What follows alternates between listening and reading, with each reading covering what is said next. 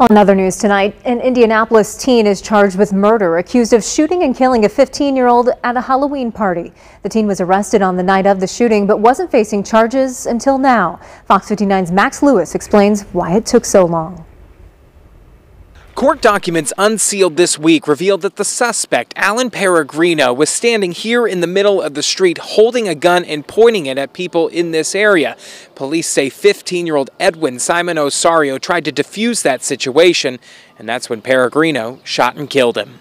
Early in the morning on October 21st of last year, cops found the 15 year old at this gas station at 21st and Emerson. Police say someone drove in there after the shooting and medics pronounced him dead. The shooting took place nearby along this stretch of East 20th Street at a large Halloween party. According to newly unsealed court documents, the suspect, Alan Peregrino, showed up at the party with guns in his hands. At some point, a fight broke out in the street and Simon Osorio stepped in to try and calm things down and was instead shot by the suspect It's certainly heartbreaking.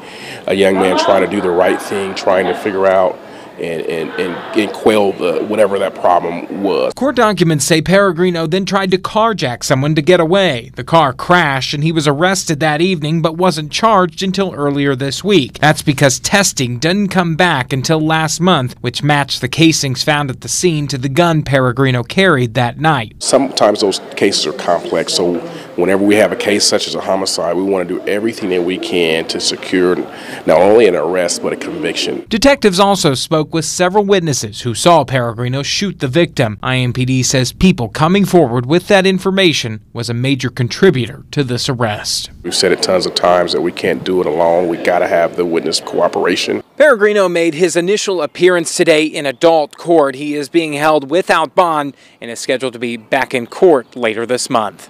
On the east side, Max Lewis, Fox 59 News.